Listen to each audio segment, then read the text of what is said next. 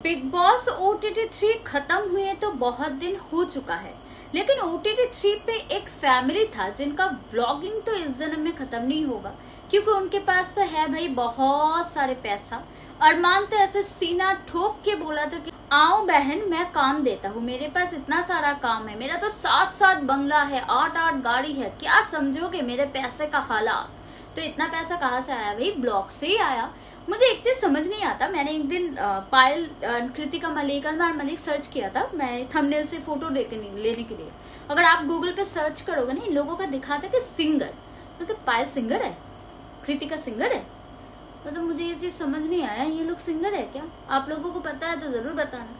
Google पे अगर तो आप लोग सर्च करोगे तो इन लोगों का दिखाता है कि ये लोग सिंगर है। ये जो तीनों जन है अलग अलग डेफिनेटली सर्च करना एक साथ नहीं, तीनों का सर्च करोगे अलग अलग करके तो आएगा सिंगर है। मतलब सिंगर तो मुझे नहीं पता, इतना मुझे पता है कि ब्लॉग बनाते हैं, और उसके आगे तो नहीं पता। लेकिन जो भी हो बिग बॉस ओटीटी थ्री तो खत्म हो चुका है, लेकिन इन लोगों का ब्लॉग और उसमें बकवास तो खत्म नहीं होने वाला। फिर से ऐसा कुछ कहा है पायल मलिक ने, लेकिन इस बार विशाल पांडे को लेकर। विशाल पांडे का थप्पड़ वाला केस तो क्वाइट फ़ेमस था, बिग बॉस ओटी थ्री जितना भी नल्ला सीज़न रहो, लेकिन वो थप्पड़ वाला कांड थोड़ा हिट था।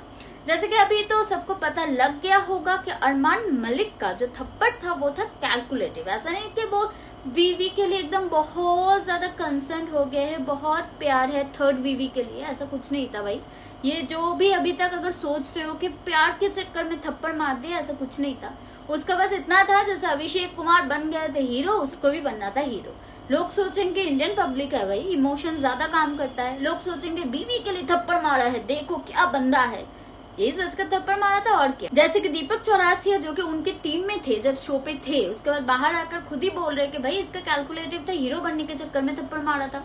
सबने देखा था ना ग्रैंड फिनाले लेकिन पायल मलिक को सबर नहीं है भाई। उन्होंने ही है जो झगड़ा लगाया था। उनको ही अभी तक भी उसके अंदर ही है। उनको ही अभी तक भी प्रॉब्लम है और अभी तक भी न्यू न्यू करके वीडियो बना रहा है इसी टॉपिक पे।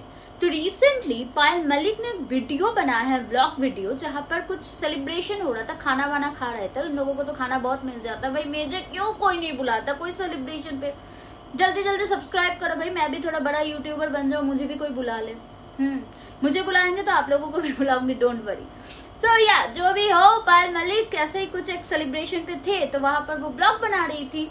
और ब्लॉग बनाते बनाते बोली, भाई, विशाल को तो मेरे हस्बैंड की वजह से सिंपथी मिला था। जी हाँ ये पायल मलिक का कहना है कि अगर मेरा हस्बैंड इसको थप्पड़ नहीं मारता तो इतना हिट कैसे हो जाता? विशाल का फॉलोअर्स कैसे बढ़ जाता? विशाल इतना फ़ेमस कैसे हो जाता? विशाल को इतना प्यार कहाँ से मिलता? जी हाँ ये पायल मलिक का वर्षन है। पायल मलिक का कहना ये है कि ठीक है, मेरा हस्बैंड थप्पड़ मारा है, लेकिन मेरे हस्बैंड के थप्पड़ की वजह से विशाल जो है वो सेलिब्रिटी बन गया है, विशाल जो है फ़ेमस बन गया है। लेकिन इसमें आपको क्या कहना है? देखो, मुझे जितना पता है डेफिनेटली मैंने विशाल को कभी फॉलो नहीं किया, क्योंकि जो लोग नो मैं ऐसे बहुत लोगों को फॉलो नहीं करती हूँ तो मैं विशाल को कभी फॉलो नहीं करती, लेकिन मैं विशाल को जानती थी। जानती थी इन द कोई मेरा बहन का बेटा नहीं है वो। ऐसा नहीं कि वो पड़ोस में रहता है, मैं जानती हूँ as an influencer as an dancer वो जो ब्लॉग कंटेंट बनाता है, उसके अकॉर्डिंग मैं जानती थी। उसका एक बहुत ही हिट गाना था, उसका जो तीन की एक यू नो जोन था, एक फ्रेंड था, जैसे समीक्षा भाविन और विशाल। तीनों का एक गाना आया था, रुला के गया इश्क तेरा या भुला के गया इश्क तेरा। इतना सुंदर गाना था, इतना सुंदर गाना था। मैंने तो अरमान मलिक का एक भी गाना ज़िंदगी में नहीं सुना। तो आप कैसे बोल सकते हो कि आपसे ज़्यादा विशाल जो है, विशाल आपकी वजह से सॉरी फ़ेमस हुआ है? मतलब कोई भी सुने हो? रुला के तेरा इश्क तेरा, भुला के गया इश्क तेरा I am really sorry for the wrong lyrics हो सकता है मैंने गाने का बोल अलग कर दिया, लेकिन म्यूज़िक यही था। रुला के गया इश्क की तरह सर्च करोगे तो मिल जाएगा। आई होप सो लेकिन अरमान मलिक का गाना तो भाई मैंने कभी नहीं सुना। तो आप कैसे बोल सकते कि आप लोगों को नौकरी दे रहे हो, आप लोगों को ये कर रहे हो, आप लोगों को वो कर रहे हो? अभी भी पायल मलिक को चैन नहीं, पायल मलिक को बोल रहे हैं कि विशाल को सिंपति मिला है, लोगों का प्यार मिला है मेरे पति की वजह से। आपको क्या कहना है इस मुद्दे में? ज़रूर कमेंट करके बताना। अभी के लिए इतना ही मिलना नेक्स्ट वीडियो पे। बाय